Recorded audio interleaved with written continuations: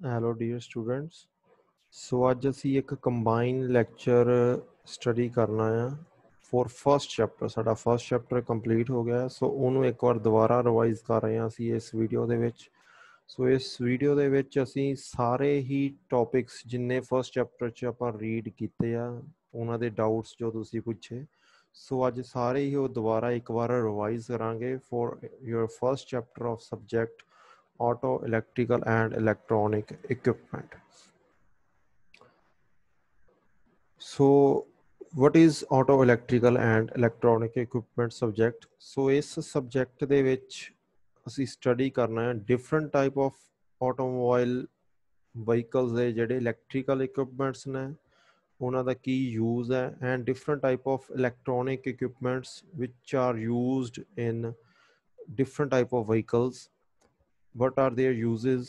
ਅਗਰ ਉਹਨਾਂ ਦੇ ਕੋਈ ਪ੍ਰੋਬਲਮ ਆਉਂਦੀ ਹੈ how to rectify that how to fault tracing ਅਤੇ ਕੀ ਕੀ ਯੂਜ਼ ਹੈਗੇ ਆ ਇਹ ਸਾਰੇ ਇਕਵਿਪਮੈਂਟਸ ਦੇ ਅਸੀਂ ਸਟੱਡੀ ਕਰਨੇ ਆ। ਸੋ ਇਸ ਸਬਜੈਕਟ ਨੂੰ ਅਸੀਂ ਦੋ ਪਾਰਟਸ ਚ ਕਨਵਰਟਸ ਕਰ ਸਕਦੇ ਹਾਂ first is electrical part and second is electronic part so first chapter ਹੈ ਸਾਡਾ introduction introduction to auto electrical and electronic equipment so ਅਗਰ ਆਪਾਂ ਗੱਲ ਕਰੀਏ ਆਟੋਮੋਬਾਈਲ ਸੈਕਟਰ ਦੀ ਸੋ ਇਸ ਨੂੰ ਆਪਾਂ ਇਲੈਕਟ੍ਰਿਸਿਟੀ ਤੋਂ ਬਿਨਾ ਇਮੇਜਿਨ ਵੀ ਨਹੀਂ ਕਰ ਸਕਦੇ। ਸੋ ਇਲੈਕਟ੍ਰਿਸਿਟੀ ਜਿਹੜੀ ਬਹੁਤ ਇੰਪੋਰਟੈਂਟ ਰੋਲ ਪਲੇ ਕਰਦੀ ਹੈ ਇੱਕ ਆਟੋ ਵਹੀਕਲ ਦੇ ਵਿੱਚ। ਠੀਕ ਹੈ ਸੋ ਇੱਕ ਕਾਰ ਦੇ ਵਿੱਚ ਜਿਹੜਾ ਸਭ ਤੋਂ ਮੇਨ ਕੀ ਇਲੈਕਟ੍ਰੀਕਲ ਕੰਪੋਨੈਂਟ ਹੈ that is battery so battery he different type ਦੇ electrical equipments electronic equipments sensors 뮤직 system wipers etcetera ਸਾਰਿਆਂ ਨੂੰ ਚਲਾਉਂਦਾ ਹੈ। So electricity is an important role of vehicle electricity ਇੱਕ ਵਹੀਕਲ ਨੂੰ ਸਟਾਰਟ ਕਰਨ ਤੋਂ ਲੈ ਕੇ ਉਹਨੂੰ ਰਨ ਕਰਨ ਦੇ ਵਿੱਚ ਹਰ ਟਾਈਮ ਤੇ ਹੈਲਪ ਕਰਦਾ ਹੈ। ਸੋ ਕੀ ਕੀ ਜੌਬਸ ਨੇ ਇਲੈਕਟ੍ਰਿਸਿਟੀ ਦੀਆਂ ਇੱਕ ਇੰਜਨ ਦੇ ਵਿੱਚ? First point starting of engine engine ਨੂੰ ਸਟਾਰਟ ਕਰਦਾ ਹੈ। Spark plug through ignition provide ਕਰਦਾ ਹੈ। ਲਾਈਟਸ ਐਂਡ ਇੰਡੀਕੇਟਰਸ ਨੂੰ ਸਪਲਾਈ ਦਿੰਦਾ ਹੈ। ਵਿੰਡ ਸਕਰੀਨ ਵਾਈਪਰ ਚੱਲਦਾ ਹੈ। Power steering, power windows, fuel feed pump, various type of gauges like fuel gauge, speedometer, odometer, ammeter, etc. Heater, air conditioning, horn, lightning, etc. Music system, radio, sunroof, and different type of sensors. So ਇਸ ਇੱਕ ਛੋਟੀ ਜਿਹੀ list ਸੀਗੀ ਇੱਕ ਕਾਰ ਇੱਕ vehicle ਇੱਕ bike ਕੋਈ ਵੀ ਵਹੀਕਲ ਆ ਉਹਦੇ ਵਿੱਚ ਜਿਹੜੇ ਇਕਵਿਪਮੈਂਟਸ ਨੂੰ ਇਲੈਕਟ੍ਰਿਸਿਟੀ ਦੀ ਹੈਲਪ ਦੇ ਨਾਲ ਆਪਾਂ ਚਲਾਉਂਦੇ ਹਾਂ। So what is automotive electrical system automotive electrical system ਨੂੰ ਅਸੀਂ ਮੇਨਲੀ ਚਾਰ ਸਰਕਟਸ ਦੇ ਵਿੱਚ ਡਿਵਾਈਡ ਕਰ ਸਕਦੇ ਹਾਂ। ਫਰਸਟ ਸਰਕਟ ਹੈ ਜਨਰੇਟਰ ਸਰਕਟ ਔਰ ਇਹਨੂੰ ਆਪਾਂ ਕਹਿੰਦੇ ਆ ਚਾਰਜਿੰਗ ਸਰਕਟ ਸੋ ਇਹਦੇ ਵਿੱਚ ਕਿਹੜੇ ਇਕਵਿਪਮੈਂਟਸ ਆਣਗੇ ਚਾਰਜਿੰਗ ਸਰਕਟ ਦੇ ਵਿੱਚ? ਜੋ ਬੈਟਰੀ ਨੂੰ ਚਾਰਜ ਕਰਨ ਦੇ ਵਿੱਚ ਹੈਲਪ ਕਰਦੇ ਪਏ ਆ। Like alternator or dyno, regulator and relay etc. Second circuit ਹੈ ਸਟਾਰਟਿੰਗ ਸਰਕਟ ਸਟਾਰਟਿੰਗ ਸਰਕਟ ਦੇ ਵਿੱਚ ਉਹ ਇਕਵਿਪਮੈਂਟਸ ਆਣਗੇ ਜੋ ਇੱਕ ਵਹੀਕਲ ਨੂੰ ਸਟਾਰਟ ਕਰਨ ਦੇ ਵਿੱਚ ਹੈਲਪ ਕਰਦੇ ਪਏ ਆ। ਉਹ electrical equipments like starting motor wiring starting circuit battery switches etcetera third ਹੈ ਇਗਨੀਸ਼ਨ ਸਰਕਟ ਇਗਨੀਸ਼ਨ ਸਰਕਟ ਦੇ ਵਿੱਚ ਉਸ ਉਹ ਇਲੈਕਟ੍ਰੀਕਲ ਇਕਵਿਪਮੈਂਟਸ ਆਣਗੇ ਜੋ ਆਪਣੇ 에ਅਰ ਫਿਊਲ ਨੂੰ ਇਗਨਾਈਟ ਕਰ ਰਿਹਾ like spark plug distributor wiring etcetera and last ਹੈ ਲਾਈਟਨਿੰਗ ਸਰਕਟ ਲਾਈਟਨਿੰਗ ਸਰਕਟ ਦੇ ਵਿੱਚ ਜਿੰਨੀ ਵੀ ਤਰ੍ਹਾਂ ਦੀ ਲਾਈਟਿੰਗ ਆ headlight indicator light fog light car ਦੇ ਡੈਸ਼ਬੋਰਡ ਤੇ ਜੋ ਲਾਈਟਨਿੰਗ ਹੈ, ਸੋ ਸਾਰੀ ਲਾਈਟਨਿੰਗ ਸਰਕਟ ਦੇ ਅੰਡਰ ਆਏਗੀ। ਸੋ ਆ ਇੱਕ line diagram of typical automotive electrical system ਤੁਸੀਂ ਦੇਖ ਸਕਦੇ ਹੋ starting motor system ignition system charging system light system instrument system and system of accessory so ਇੱਕ ਛੋਟੀ ਜੀ ਲਿਸਟ ਆ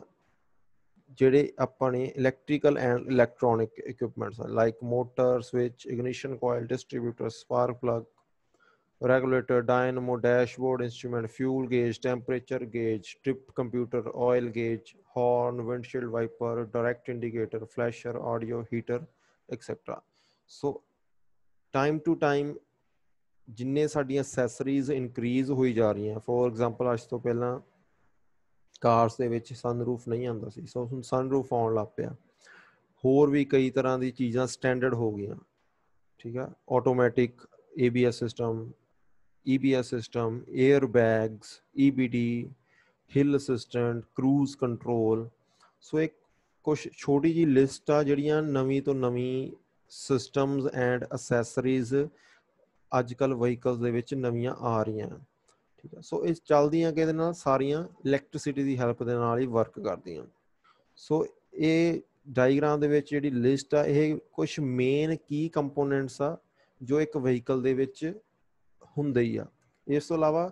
ਹੋਰ ਵੀ ਕਈ ਤਰ੍ਹਾਂ ਦੀਆਂ ਡਿਫਰੈਂਟ ਐਕਸੈਸਰੀਜ਼ ਆ ਜਿਹੜੀਆਂ ਅੱਜਕੱਲ ਵਹੀਕਲਸ ਦੇ ਵਿੱਚ 2 ਵੀਲਰ ਆ, ਚਾਹੇ 4 ਵੀਲਰ ਆ, ਆਉਣ ਲੱਗੀਆਂ ਠੀਕ ਹੈ? ਸੋ ਲਿਸਟ ਬਹੁਤ ਲੰਬੀ ਆ। So this is main key components so ਆ ਇੱਕ ਡਾਇਗਰਾਮ ਆ ਕਾਰ ਦੀ, ਜਿਹਦੇ ਵਿੱਚ ਇੰਜਨ ਦੇ ਵਿੱਚ ਕਿਹੜੇ-ਕਿਹੜੇ ਇਲੈਕਟ੍ਰੀਕਲ ਇਕਵਿਪਮੈਂਟਸ ਹੁੰਦੇ ਆ, ਉਹਨੂੰ ਦਿਖਾਇਆ ਗਿਆ ਹੈ ਠੀਕ ਹੈ ਇਸ ਤੋਂ ਇਲਾਵਾ ਇੰਜਨ ਇੰਟੀਰੀਅਰ ਦੇ ਵਿੱਚ ਕਾਰ ਦੀ ਬੋਡੀ ਦੇ ਅੰਦਰ ਵੀ ਕਈ ਡਿਫਰੈਂਟ ਤਰ੍ਹਾਂ ਦੇ ਇਕਵਿਪਮੈਂਟਸ ਹੁੰਦੇ ਆ। ਇਹ ਤਾਂ ਸੀਗੇ ਇਲੈਕਟ੍ਰੀਕਲ ਇਕਵਿਪਮੈਂਟਸ ਠੀਕ ਹੈ ਹੁਣ ਆਪਾਂ ਗੱਲ ਕਰਨੀ ਆ second part that is electronic devices ਕਿਹੜੇ ਕਿਹੜੇ ਇਲੈਕਟ੍ਰੋਨਿਕ ਡਿਵਾਈਸਸ ਲੱਗੇ ਹੁੰਦੇ ਆ? ਦਾ main electronic devices in any car is sensoring unit integrated circuit rectifiers and electronic control unit ECU ਇੱਕ ਅੱਜ ਕੱਲ ਇੱਕ ਵਹੀਕਲ ਦੇ ਹਰ ਇੱਕ ਪੈਰਾਮੀਟਰ ਨੂੰ ਕੰਟਰੋਲ ਕਰ ਰਿਹਾ ਹੈ, ਇਲੈਕਟ੍ਰੋਨਿਕ ਕੰਟਰੋਲ ਯੂਨਿਟ। ਸੋ ਹਰ ਤਰ੍ਹਾਂ ਦੀ ਵਹੀਕਲ ਦੇ ਪੈਰਾਮੀਟਰ, ਸਪੀਡ, ਪਾਵਰ ਹੋਰ ਵੀ ਡਿਫਰੈਂਟ ਤਰ੍ਹਾਂ ਦੇ ਪੈਰਾਮੀਟਰ, ਸਭ ਕੁਝ ECU ਤੋਂ ਹੀ ਕੰਟਰੋਲ ਹੋ ਰਿਹਾ ਹੈ। So that is uh key component of a automobile vehicle. ਇਸ ਤੋਂ ਇਲਾਵਾ wiring multi processor micro controller ਠੀਕ ਹੈ communication chip semiconductor rectifier transistor so ਇੱਕ ਛੋਟੀ ਜੀ ਲਿਸਟ ਆ ਸਮ ਇਲੈਕਟ੍ਰੋਨਿਕ ਡਿਵਾਈਸਸ ਠੀਕ ਹੈ ਪਹਿਲਾਂ ਆਪਾਂ ਗੱਲ ਕੀਤੀ ਇਲੈਕਟ੍ਰੀਕਲ ਡਿਵਾਈਸਸ ਇਹ ਹੈਗੇ ਸਮ ਇਲੈਕਟ੍ਰੋਨਿਕ ਡਿਵਾਈਸਸ ਸੋ ਹੁਣ ਆਪਾਂ ਸਟਾਰਟ ਕਰਦੇ ਹਾਂ ਕੁਝ ਮੇਨ ਇਲੈਕਟ੍ਰੀਕਲ ਡਿਵਾਈਸਸ ਦੀ ਇੰਟਰੋਡਕਸ਼ਨ ਠੀਕ ਹੈ ਇਲੈਕਟ੍ਰੀਕਲ ਡਿਵਾਈਸਸ ਜਿਹੜੇ ਆਪਾਂ ਇੱਥੇ ਸਟੱਡੀ ਕਰਨ ਲੱਗੇ ਆ ਇਹ ਹੈਗੀ ਜਸਟ ਉਹਨਾਂ ਦੀ ਇੰਟਰੋਡਕਸ਼ਨ ਇਹਨਾਂ ਦੀ ਡਿਟੇਲ ਵਰਕਿੰਗ ਡਿਟੇਲ ਪ੍ਰਿੰਸੀਪਲ ਸਾਰਾ ਕੁਝ ਆਪਾਂ ਆਉਣ ਵਾਲੇ ਚੈਪਟਰਸ ਦੇ ਵਿੱਚ ਸਟੱਡੀ ਕਰਨਾ ਹੈ। ਸੋ ਇੱਕ ਸਿੰਪਲ ਇੰਟਰੋਡਕਸ਼ਨ ਇੰਟਰੋਡਕਟਰੀ ਪਾਰਟ ਹੈਗਾ some electrical devices first is alternator alternator ਇੱਕ ਇਸ ਤਰ੍ਹਾਂ ਦਾ ਡਿਵਾਈਸ ਆ, ਜੋ ਬੈਟਰੀ ਨੂੰ ਚਾਰਜ ਕਰਨ ਦੇ ਵਿੱਚ ਹੈਲਪ ਕਰਦਾ ਹੈ।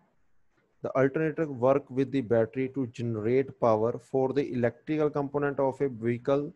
like the interior and exterior lights and the instrument panel. ਠੀਕ ਆ ਬੈਟਰੀ ਦੇ ਨਾਲ ਹੈਲਪ ਕਰਦਾ ਹੈ different type of electrical equipments ਨੂੰ ਚਲਾਉਣ ਦੇ ਲਈ an alternator gets its name from the current term alternating current the alternator generate electric power to run accessory and to recharge the battery so alternator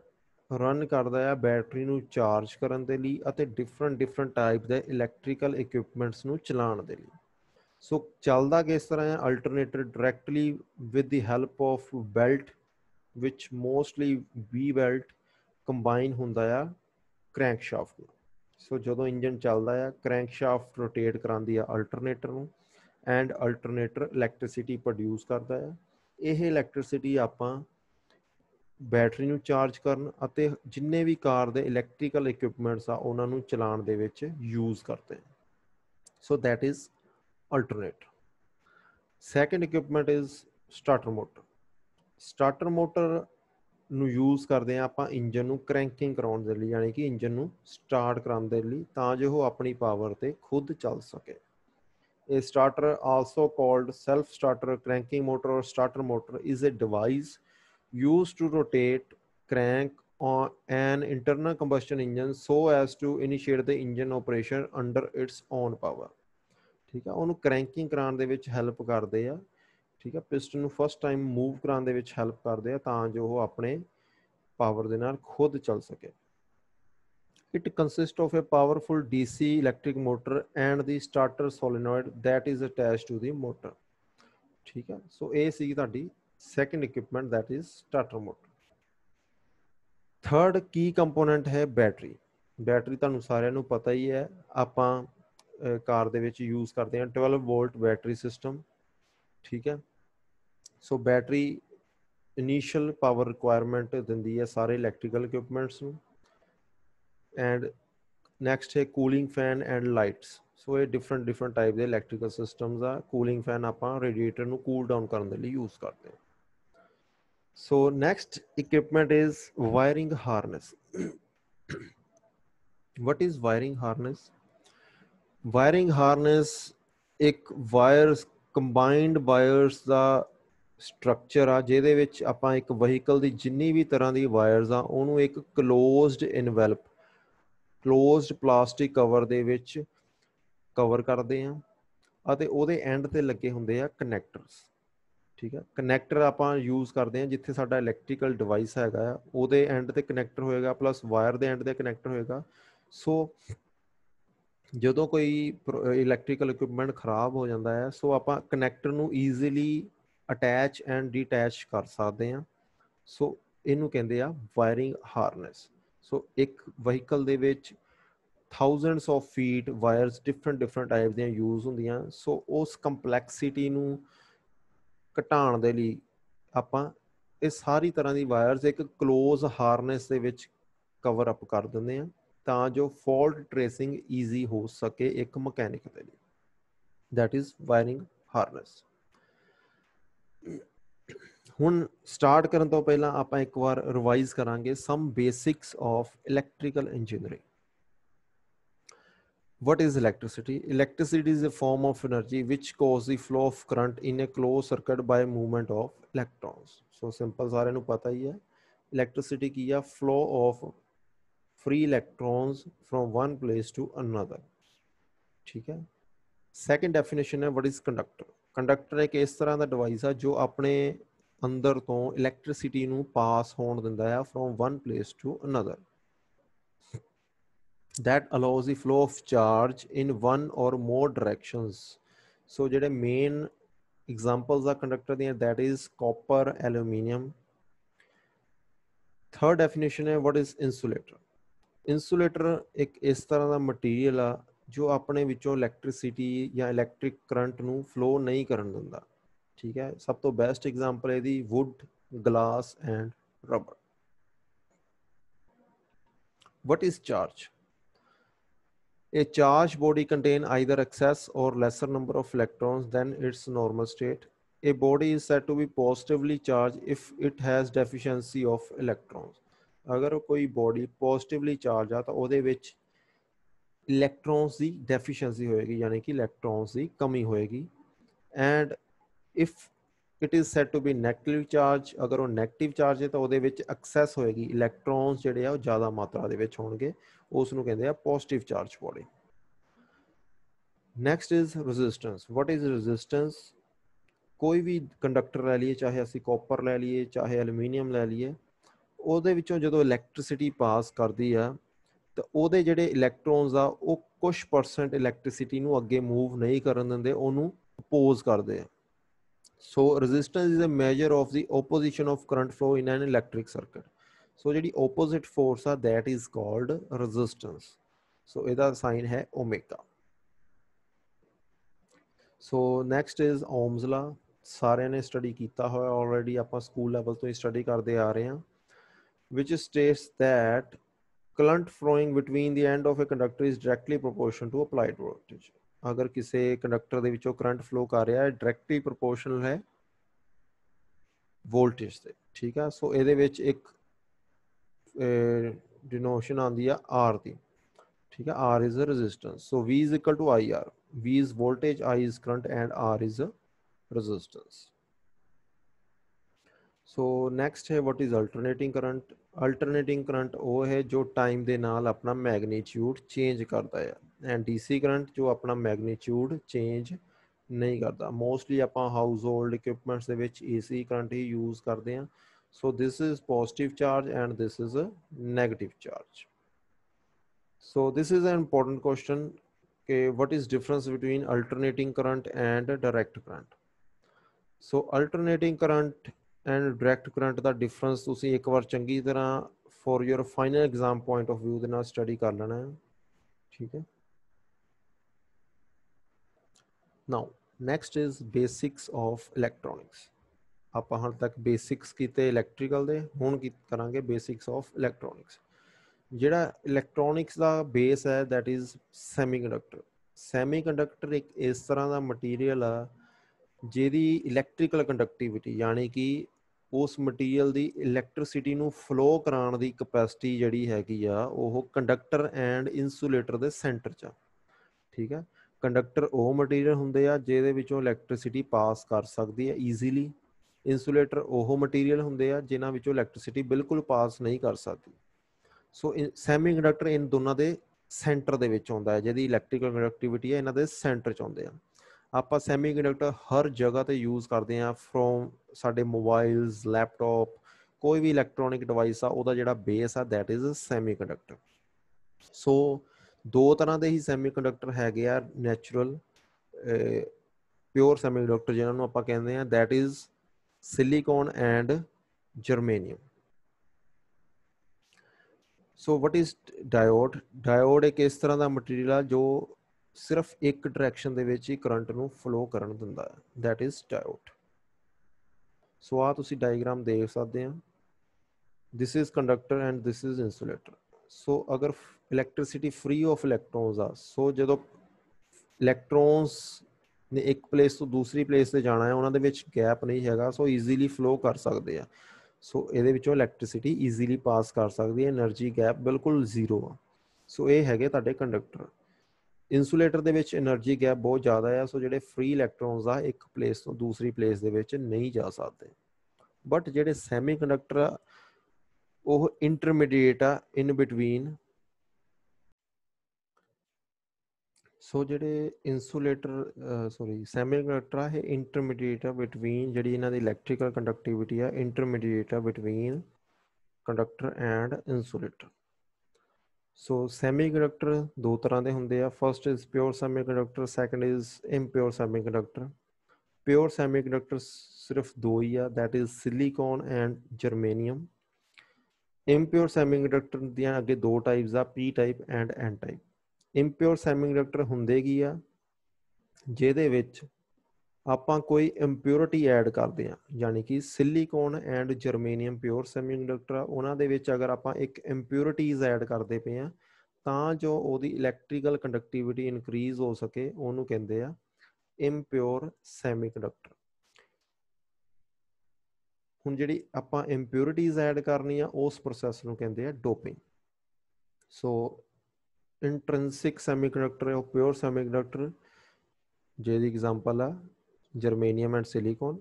and extrinsic semiconductor ਜਿਹਦੇ ਵਿੱਚ ਆਪਾਂ electrical conductivity ਨੂੰ semiconductor ਦੀ increase ਕਰਨ ਦੇ ਲਈ ਕੁਝ impurities add ਕਰਦੇ ਆ ਕੁਝ ਹੋਰ ਮਟੀਰੀਅਲਸ ਐਡ ਕਰਦੇ ਆ ਉਹਨੂੰ ਕਹਿੰਦੇ ਆ impure semiconductor or extrinsic semiconductor and that process of adding impurities in the semiconductor is called doping so next is transistor what is transistor transistor is a device used to control current flow in solid state electronic system. They will work like relay, but with no moving part. So transistor ਇੱਕ ਇਸ ਤਰ੍ਹਾਂ ਦਾ device ਆ ਜਿਹਦੇ ਨਾਲ ਆਪਾਂ current flow control ਕਰ ਸਕਦੇ ਆ in any electronic system with no moving part so transistor ਬਣਦਾ ਕਿਸ ਤਰ੍ਹਾਂ ਆ combination of different type of semiconductors like PNP and NPN ਅਗਰ PNP ਸੈਮੀਕੰਡਕਟਰ ਹੈ P N and P semiconductor so ਇਹਦੇ ਵਿੱਚ ਜਿਹੜਾ P ਹੈ that is emitter N is base and P is collector. So this is a complete transistor which is called PNP transistor. So use ਕਰਦੇ ਹਾਂ ਆਪਾਂ current flow ਦੇ ਲਈ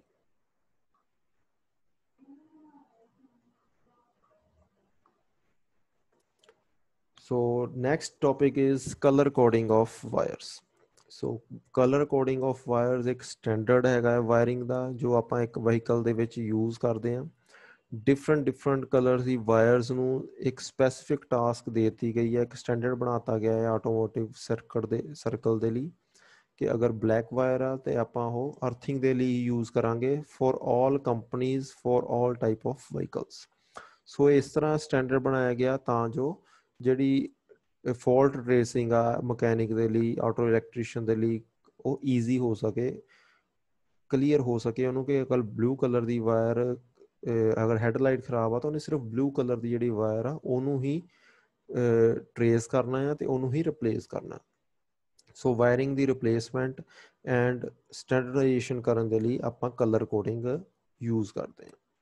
so ਇਹ ਇੱਕ ਡਿਫਰੈਂਟ ਟਾਈਪ ਦੇ ਵਾਇਰਿੰਗ ਕਲਰ ਦੇ ਕੋਡਿੰਗ ਉਹਨਾਂ ਦੇ ਟਾਸਕ ਹੈ for example brown wire battery circuit ਦੇ ਲਈ ਯੂਜ਼ ਹੁੰਦੀ ਹੈ ਇੰਟੀਰੀਅਰ ਲਾਈਟ ਹਾਰਨ ਐਕਸੈਟਰਾ ਇਸੇ ਤਰ੍ਹਾਂ red wire tail lamp indicator light etcetera ਦੇ ਲਈ ਯੂਜ਼ ਹੁੰਦੀ ਹੈ। ਸੋ ਇੱਕ ਪਾਰਟਿਕੂਲਰ ਸਪੈਸੀਫਿਕ ਟਾਸਕ ਦੇਤੀਆਂ ਗਈਆਂ ਆ ਸਮ ਸਪੈਸੀਫਿਕ ਕਲਰਸ ਨੂੰ। ਸੋ ਜਿਹੜੇ ਸੱਤ ਕਲਰਸ ਆ, ਸੱਤ ਡਿਫਰੈਂਟ ਟਾਈਪ ਆਫ ਕਲਰਸ ਆ, ਇਹਨਾਂ ਨੂੰ ਬੇਸਿਕ ਇਕਵਿਪਮੈਂਟਸ ਦੀ ਲਿਸਟ ਦੇਤੀ ਗਈ ਆ। ਕਿ ਅਗਰ ਬਲੈਕ ਵਾਇਰ ਆ ਕਿਸੇ ਜਗ੍ਹਾ ਤੁਹਾਨੂੰ ਦੇਸੀ ਤਾਂ ਉਹ ਹਮੇਸ਼ਾ ਅਰਥਿੰਗ ਦੇ ਲਈ ਹੀ ਯੂਜ਼ ਹੋਏਗੀ। ਸੋ ਹਰ 2 wheeler 3 wheeler 4 wheeler truck buses etcetera ਹਰੇਕ ਕੰਪਨੀ ਦੇ ਵਿੱਚ ਇਹ ਸਟੈਂਡਰਡ ਆ।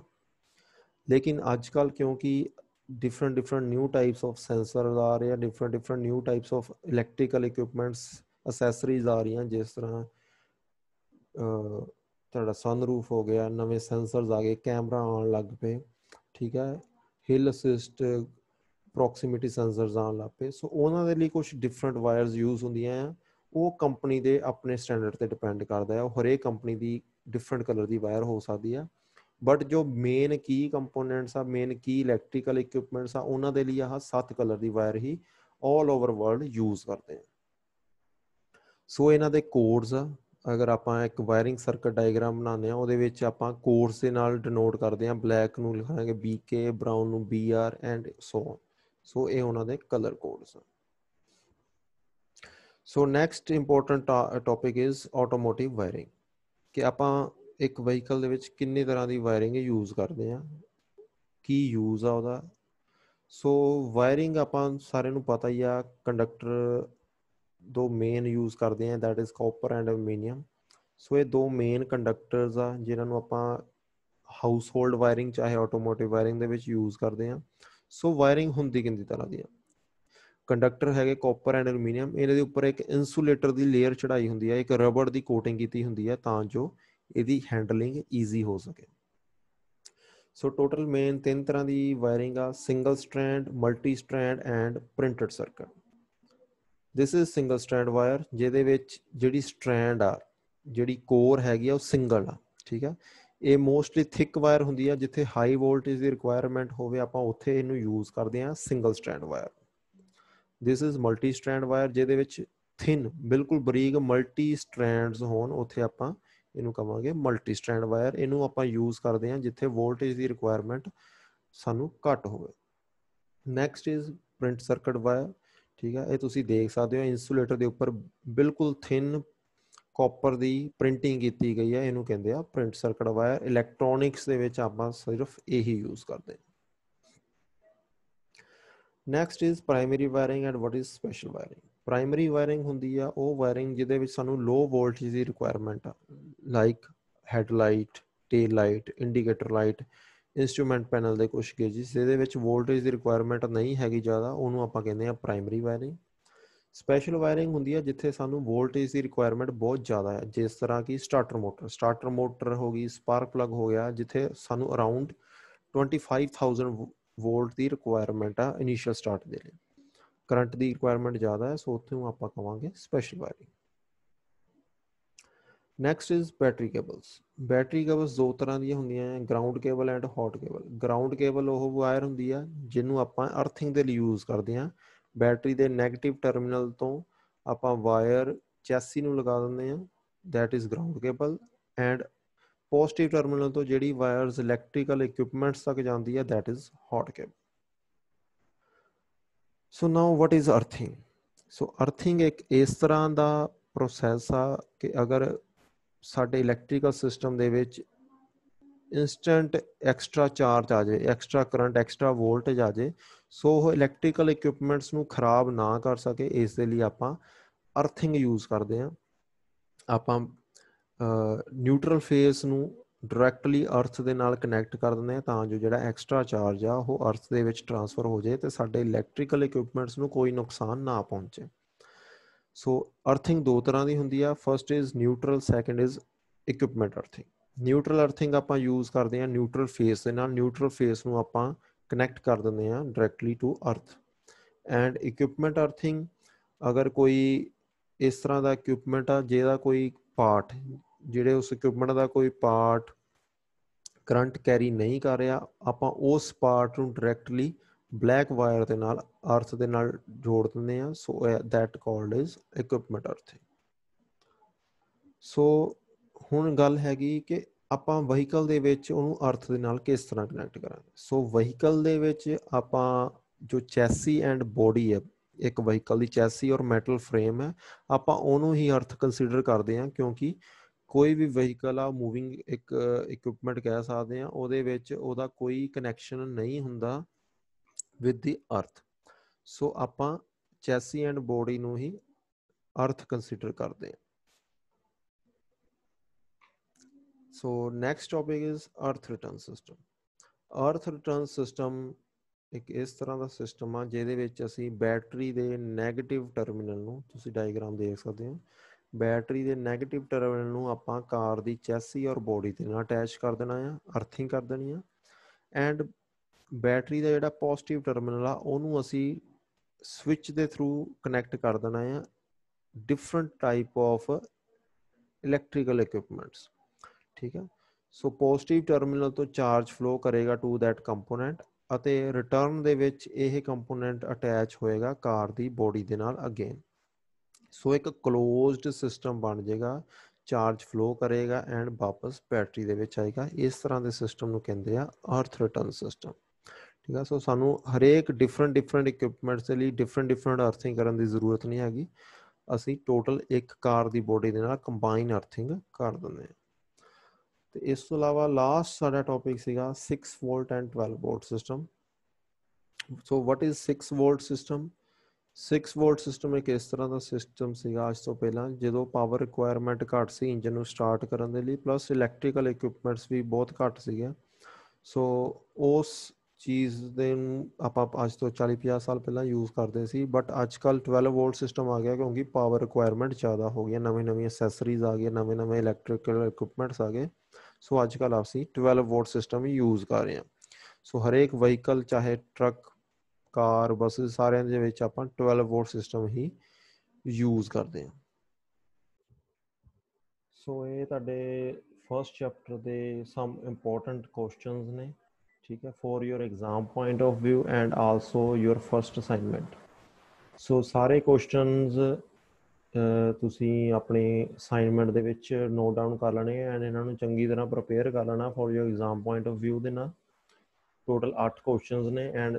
ਤੁਸੀਂ ਆਪਣੀ ਅਸਾਈਨਮੈਂਟ ਸਬਮਿਟ ਕਰਾਣੀ ਆ 7th ਆਫ ਸਤੰਬਰ ਤੱਕ।